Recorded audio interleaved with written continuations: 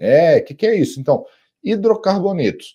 Quando a gente fala de hidrocarbonetos, eu estou falando de compostos orgânicos em que na fórmula estrutural, na fórmula química, só tem carbono e hidrogênio. Isso é um hidrocarboneto. Leandro, o que é um hidrocarboneto? Você vai lá, procura a estrutura molecular do, do hidrocarboneto, do, do hidrocarboneto, não, do composto, e vê lá, só tem carbono e hidrogênio. Se é isso, se só tem carbono e hidrogênio, pronto. Inês é morta.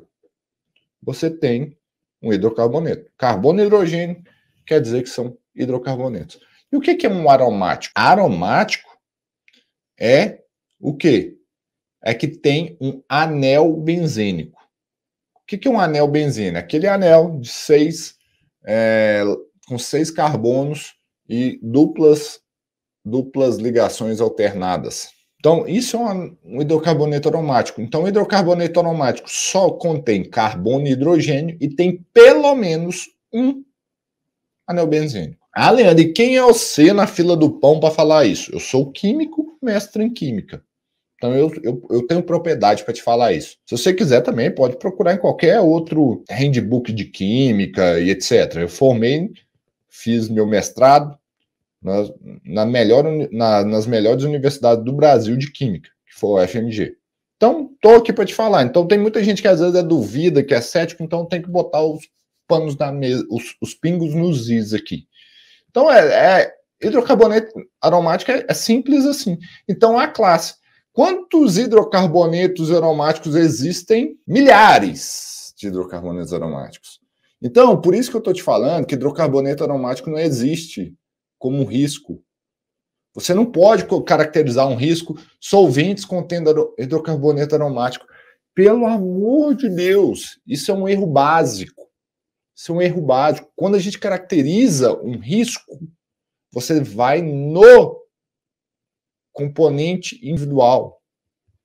Então, exemplos de hidrocarbonetos aromáticos: benzeno é um, tolueno é outro, chilenos é outro, estireno é outro, cumeno, outro, naftaleno, benzoalfa-pireno, são exemplos de hidrocarbonetos aromáticos. Todos esses. E por que, que você não pode colocar todos no mesmo pacote? Fala assim, ah, meu risco é hidrocarboneto aromático.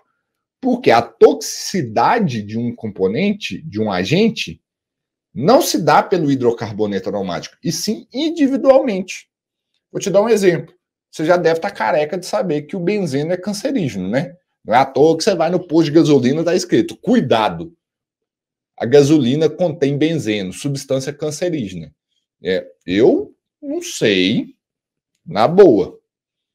Aí é outra coisa, mas eu nunca vi um frentista que com leucemia, porque eu não sei se você sabe o a doença ocupacional causada pelo benzeno é uma delas é leucemia por, com, por exposição de longo prazo, leucemia. Benzeno é carcinogênico. E o tolueno? O tolueno não é. O tolueno não é cancerígeno. O tolueno é, por exemplo, ototóxico. O que é ototóxico?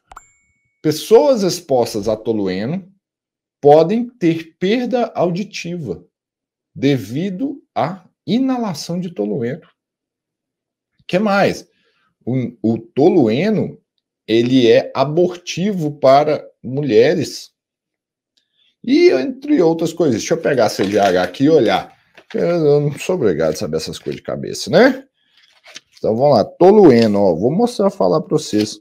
Então são coisas completamente diferentes uma da outra. Você vai falar que o risco de exposição a benzeno é a mesma de exposição ao tolueno? Ele pode comprometer a visão, perda, visão e dano reprodutivo feminino e aborto. Isso é o tolueno. Ah, e o chileno, que é o outro hidrocarboneto aromático. O que, que o chileno pode causar? Irritação nos olhos, no trato respiratório superior e comprometimento, depressão do sistema nervoso central. Você consegue ver, eu te dei os três é, solventes, mais é, solventes que contêm hidrocarbonetos aromáticos mais simples, mais comuns que a gente vai ter no dia a dia. Você consegue ver que a toxicidade de cada um deles é diferente? Um causa leucemia, o outro causa aborto, dano reprodutivo feminino, ototóxico, causa perda auditiva, o outro causa irritação do trato respiratório superior e dos olhos e também causa a depressão do sistema nervoso central. São coisas completamente diferentes. Então, como que você vai fazer uma apreciação de risco uma avaliação de riscos chamando de hidrocarbonetos aromáticos? Então, a primeira coisa que eu quero chamar aqui, se você está fazendo um inventário de risco, e essa é uma das gafes mais homéricas que eu vejo, e às vezes você pega o antigo PPRA, ou já peguei alguns PGRs também, que tem gente que vai lá e coloca lá risco, hidrocarboneto aromático. Pelo amor de Deus, não faz isso não. Você tem que decifrar, você tem que saber quais são os riscos que estão presentes no ambiente de trabalho. Você tem que reconhecer o risco, conhecer sobre o produto, as matérias-primas, o processo e tudo mais. Isso que você tem que fazer. Então, não fica chamando negócio de hidrocarboneto aromático, não. Tá? Inclusive, para você fazer o seu laudo de insalubridade, você tem que detalhar qual que é o hidrocarboneto aromático, porque senão você pode cometer algumas equívocos.